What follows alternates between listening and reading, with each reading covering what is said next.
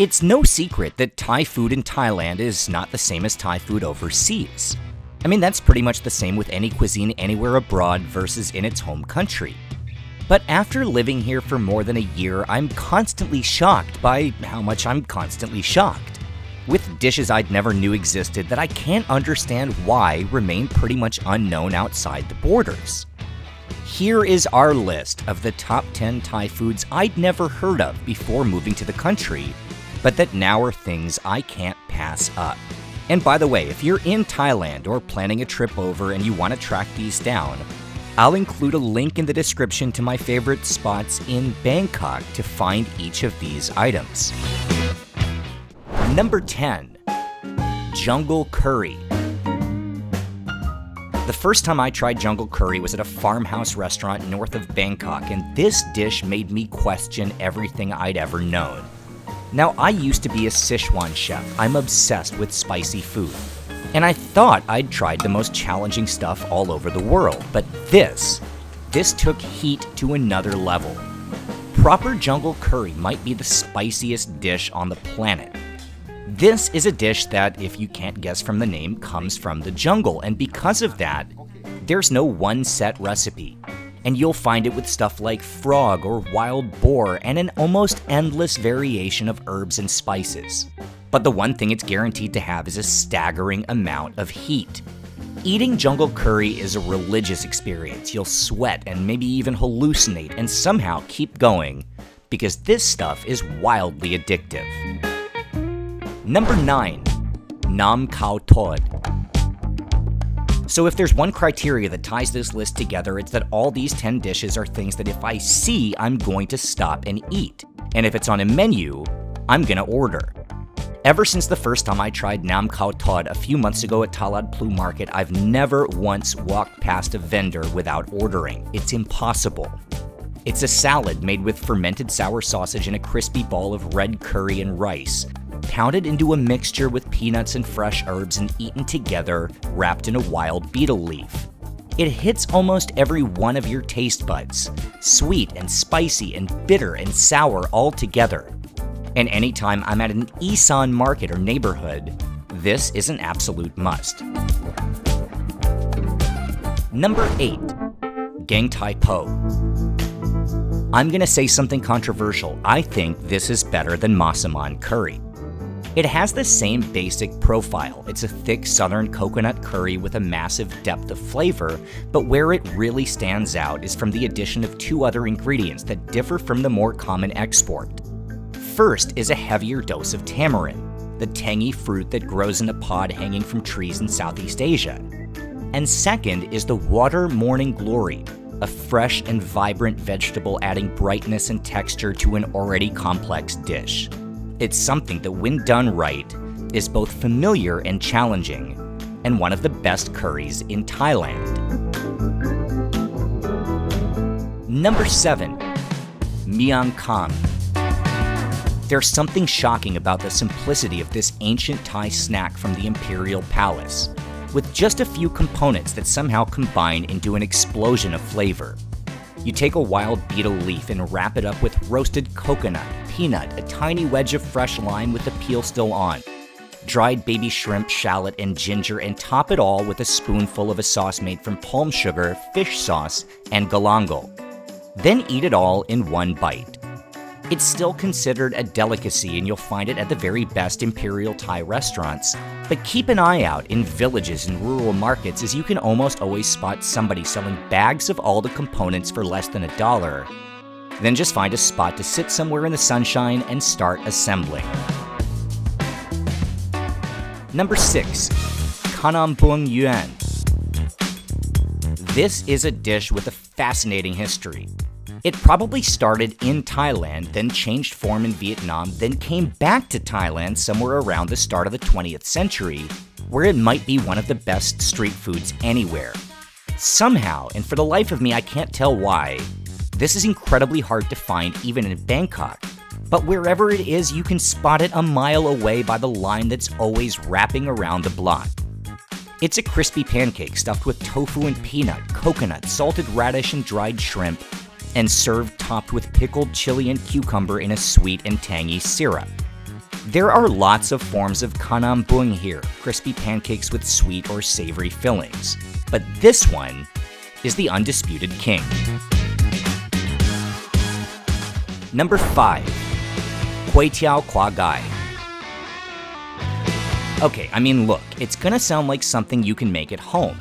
It's rice noodles, chicken, and pretty much nothing else, just a dash of soy sauce and if you want, an egg cracked on top.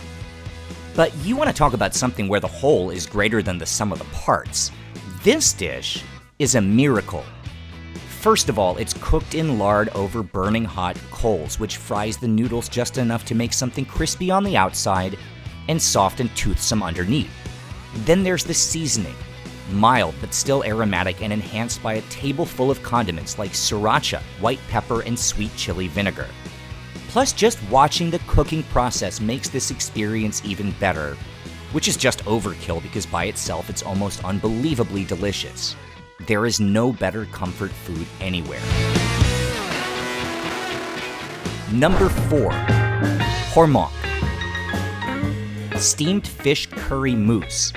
Of all the incredible Thai curries, this might be the most unique. It's rich and packed with coconut and kaffir lime leaf and all kinds of incredible flavor. But the texture is almost like a quiche, soft and spongy.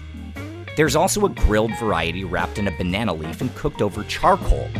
From the first time I ever tried it from a boat vendor at Bang Krachao, this became an obsession, and I've traveled across the region looking for the best versions. The Thai version of hor mok is a close cousin of Cambodia's national dish, fish amok, and it's truly one of the region's great treasures. While there are versions made with pork or fish ball, the classic Thai hor mok mixes curry paste, coconut, and egg with snakehead fish, ladled over cabbage or Thai basil leaves, and then steamed. Number 3. Gaeng Hang Le Forget everything you thought you knew about Thai curry. There's no coconut in this one, no seafood or chicken. It's a savory pork belly stew that's a wild combination of Indian, Thai, Burmese, and Chinese from the far northwest of Thailand, with just an incredible amount of spices and herbs cooked together into one of the most intense and satisfying dishes found anywhere in the country. Hang Le curry is one of the only dishes we've ever seen that combines garam masala with dark soy sauce. With a list of ingredients a mile long, and in some of the best versions, bursts of flavor from bulbs of pickled garlic accentuating the savory stew. It's unlike any other local dish and maybe closer to China's Hongshao Rou or red braised pork than to a classic Thai curry. Number 2. Pad Sataw. I mean, we did an entire video on this dish. It was perhaps the biggest shock I've had in years to find a vegetable, the sataw bean, that not only had I never tasted before, but that I'd never tasted anything even similar to in my entire life. It's sulfuric and smoky, umami and bitter, like biting into a volcano, only somehow even more intense. It's wildly addictive and somehow still only found in a small region of Southeast Asia. The signature dish using the sataw bean is this pad sataw, a stir fry using ground pork, shrimp paste, and chili to complement the star of the show, the bean itself.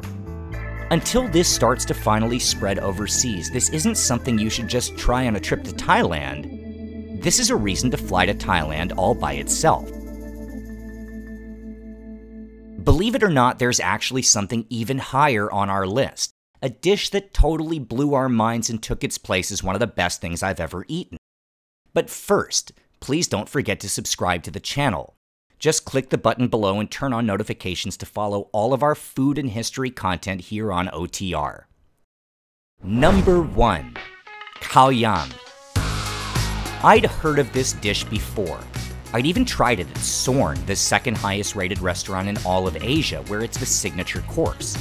But it wasn't until I took a trip to the Muslim regions of southern Thailand where I actually understood why this is such an obsession of its devoted fans. It's a salad, but really it's so much more than that. The reason why this is only sold in a few towns is that it takes an unbelievable amount of work to prepare. There are more than a dozen components, each with its own technique to bring out the absolute best of the flavors. Things like pomelo, long bean, roasted coconut, and obscure ingredients like rosy milkweed, bitter leaf, and the sataw bean, all served with rice cooked with blue butterfly pea and topped with a dressing made from fish organs. Every single bite is the entire bounty of Thailand. Every taste and texture all together each mouthful the equivalent to a tour of Southeast Asia. It's not just the best obscure dish I've tried in Thailand, it might be my favorite Thai food, period. And that's our list of the top 10 obscure Thai foods that I'd never heard of before I moved to Thailand. Did we miss anything? Leave a message in the comments, and I promise if we haven't tried it yet, I'll make it a point to track it down.